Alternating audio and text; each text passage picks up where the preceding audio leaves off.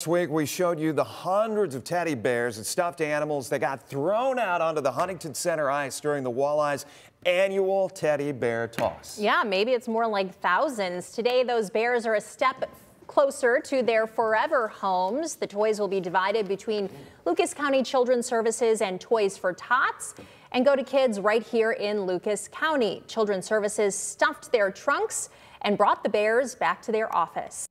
Ours in particular will go back to the toy room, and those will get distributed to uh, kids that are served by Lucas County Children's Services. This is one of those comfort items. Here we go. Walleye fans threw more than 4,500 bears onto the ice. Wow. Well, if you still have some holiday shopping to do, please try to remember the kids in the care of Lucas County Children's Services. We are still collecting new unwrapped toys and gift cards for kids of all ages. There's a full list of drop-off locations on our website, WTOL.com, or you can click it, ship it, and gift it, order it, and send it directly to the WTOL studios. Both of us, the WTOL 11 and Lucas County Children's Services, want to say thank you in advance for giving Lucas County kids the gift of joy this holiday season.